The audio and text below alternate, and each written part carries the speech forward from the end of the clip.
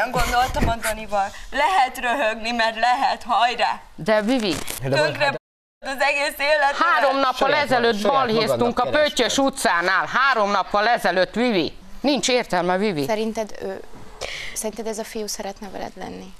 Fél az anyjától, meg az apjától. Mit félek?